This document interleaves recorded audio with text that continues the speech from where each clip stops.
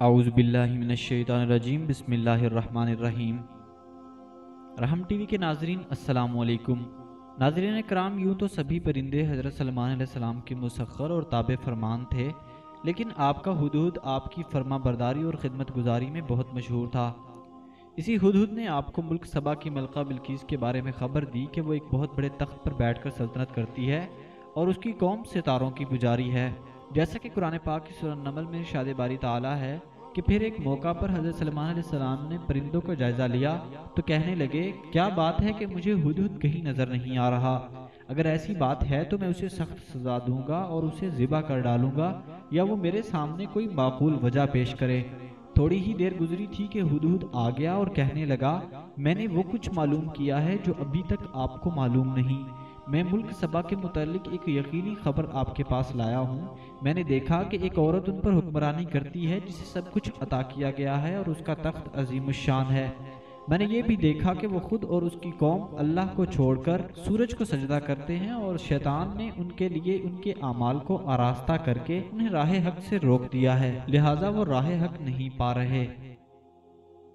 اس خبر کے بعد حضرت سلمان علیہ السلام نے بلکیز کے نام جو خط رسال فرمایا، اس خط کو یہی حدود پرندہ لے کر گیا تھا۔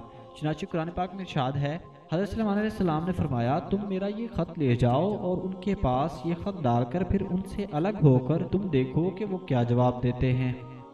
چنانچہ حدود خط لے کر گیا اور بلقیس کی گود میں اس خط کو اوپر سے گرا دیا، بلکہ بلقیس نے اسی وقت اپنے گرد عمرہ اور ارکان سلطنت کا مجمع اکٹھا کیا اور پھر یہ خط پڑھ کر خوف میں مبتلا ہو گئی اور اپنے اراکین سے کہنے لگی کہنے لگی، اے دربار والو، میرے پاس ایک معزز خط ڈالا گیا ہے۔ وہ خط حضرت سلمان علیہ السلام کی طرف سے ہے اور وہ خط یہ ہے کہ اللہ کے نام سے شروع کرتا ہوں جو بے حد مہربان، نہایت رحم والا ہے۔ میرے ساتھ تکبر نہ کرو اور میرے ساتھ متی ہو کر چلی آؤ۔ دوستو، خط سنا کر بلقیس نے اپنی سلطنت کے امیروں اور وزیروں سے مشورہ کیا تو ان لوگوں نے اپنی طاقت اور جنگی مہارت کا اظہار کرتے ہوئے حضرت سلمان علیہ السلام سے جنگ کا ارادہ ظاہر کیا۔ اس وقت عقل مند بلقیس نے اپنے امیروں اور وزیروں کو سمجھایا کہ جنگ کرنا مناسب نہیں ہے کیونکہ اس سے شہر ویران اور شہر کے عزت دار باشندے ذلیل و خار ہو جائیں گے۔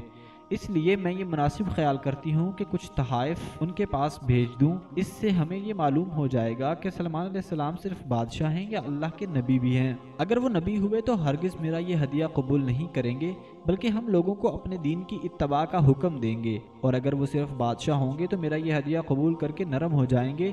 چنانچہ بلقیس نے پانچ سو غلام اور پانچ سو لونڈیاں بہترین لباس اور زیورات سے آراستہ کر کے بھیجے اور ان لوگوں کے ساتھ پانچ سو سونے کی اینٹیں اور بہت سے جواہرات، مشک، امبر اور ایک تاج بما ایک خط کے قاصد کے ساتھ بھیجا۔ ہد ہد یہ سب دیکھ کر روانہ ہو گیا اور حضرت سلمان علیہ السلام کے دربار میں آ کے سب خبریں پہنچا دی چنانچہ بلقیس کا قاصد چند دنوں کے بعد جب تمام سامان لے کر دربار میں حاضر ہوا تو حضرت سلمان علیہ السلام نے غضب ناک ہو کر قاصد سے فرمایا کیا مال سے میری مدد کرتے ہو؟ تو جو مجھے اللہ نے دیا بہتر ہے، اس سے جو تم نے دیا۔ بلکہ تم ہی اپنے تحفے پر خوش رہو اور ان کی طرف واپس جاؤ۔ ہم ان پر ایسے لشکر لے کر پہنچیں گے جن کا وہ مقابلہ نہ کر سکیں گے اور ہم انہیں وہاں سے ذلیل کر کے نکال دیں گے۔ چنانچہ اس کے بعد قاصد نے جب واپس آ کر بلقیس کو سارا ماجرہ سنایا تو بلقیس حضرت سلمان علیہ السلام کے دربار میں حاضر ہو گئی۔ حضرت سلمان علیہ السلام کا دربار اور یہاں کے عجائبات دیکھ کر اس کو یقین آ گیا کہ حضرت سلمان علیہ السلام خدا کے نبی برحق ہیں اور ان کی سلطنت بھی اللہ تعالیٰ کی طرف سے ہی ہے۔ حضرت سلمان علیہ السلام نے بلقیس کو اپنے دین کی دعوت دی تو اس نے نہایت ہی خلوص کے ساتھ اسلام قبول کر لیا۔ پھر حضرت سلمان علیہ السلام نے بلقیس سے نکاح کر کے اس کو اپنے محل میں رکھ لیا۔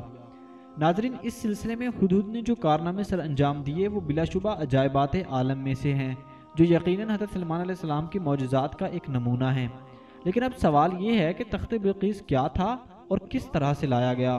تو دوستو، ملکہ سبا بلقیس کا تخت شاہی اسی گز لمبا اور چالیس گز چوڑا تھا۔ یہ سونے چاندی اور طرح طرح کے جواہرات اور موتیوں سے آراستہ تھا۔ حضرت سلمان علیہ السلام نے بلقیس کے قاصد اور ان کے تحائف کو ٹھکرا دیا اور اس کو یہ حکم نامہ بھیجا کہ وہ مسلمان ہو کر میرے دربار میں حاضر ہو جائے۔ تو آپ کے دل میں یہ خواہش پیدا ہوئی کہ بلقیس کے یہاں آنے سے پہلے اس کا تخت میرے دربار میں آ جائے۔ چنانچہ آپ نے اپنے درباریوں سے یوں فرمایا، کہا، اے دربار والو تم میں سے کوئی ہے کہ میرے پاس ان کا تخت لے آئے، اس سے پہلے کہ وہ میرے پاس فرما بردار ہو کر آئیں۔ جنوں میں سے ایک دیو نے کہا کہ میں تمہیں وہ لا دیتا ہوں، اس سے پہلے کہ تو اپنی جگہ سے اٹھے، اور میں اس کے لیے طاقتور اور ایماندار ہوں۔ جن کا بیان سن کر حضرت سلمان علیہ السلام نے فرمایا کہ میں یہ چاہتا ہوں کہ اس سے بھی جلد وہ تخت میرے دربار میں آ جائے۔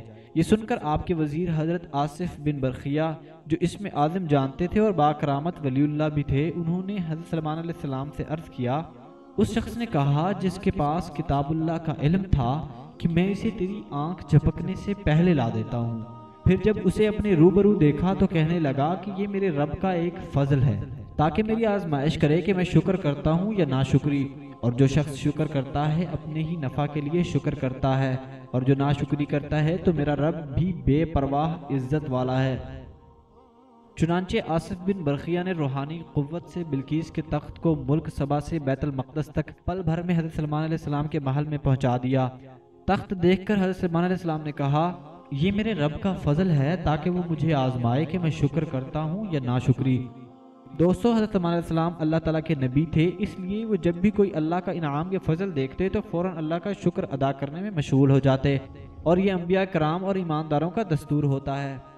اس کے برعکس کافر پر جب اللہ تعالیٰ کوئی انعام فرماتا ہے تو وہ شکر کرنے کی بجائے مزید سرکشی اور تکبر کی طرف مائل ہو جاتا ہے۔ خواتین و حضرات اس کے ساتھ ہی آج کی ویڈیو کا اختتام ہوتا ہے۔ چینل کو سبسکرائب اور ویڈیو کو لائک کرنا نہ بھولیں۔ اپنا اور اپنے ارد گرد کے لوگوں کا خیال رکھیے گا۔ اللہ حافظ۔